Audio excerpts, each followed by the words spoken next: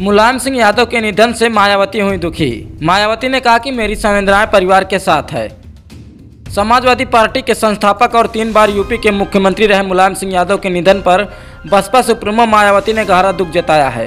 मायावती ने एक ट्वीट करके मुलायम सिंह यादव के परिवार और शुभचिंतकों के प्रति अपनी संवेदनाएँ व्यक्त की है।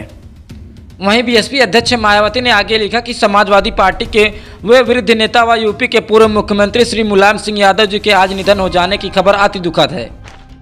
उनके परिवार व शुभ चिंतकों के प्रति मेरी गहरी संवेदना है। कुदरत उन सबको इस दुख का सहन करने की शक्ति दे। आपको बता दें कि मुलायम सिंह यादव की बयासी साल की उम्र में हुआ निधन। मेनदाता अस्पताल में सुबह आठ बज के सोलह मिनट पर मुलायम सिंह यादव ने ली अंतिम सांस।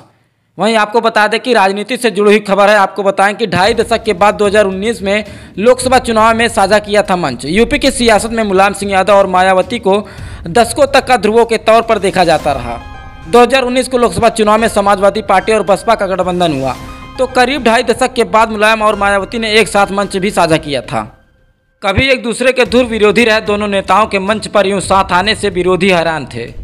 तब मैनपुरी में सपा, बसपा और आलोद की संयुक्त रैली में मायावती ने जनता से मुलायम सिंह यादव के लिए वोट मांगे थे। मंच से दोनों ने एक दूसरे की प्रशंसा भी की थी।